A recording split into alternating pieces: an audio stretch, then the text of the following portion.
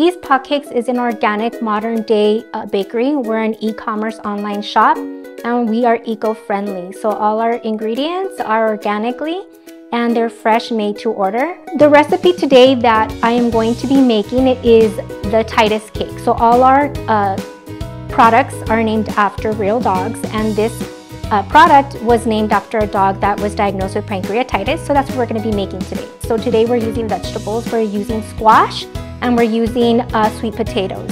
Uh, we're gonna go ahead and um, mix all our ingredients to uh, bake the cake.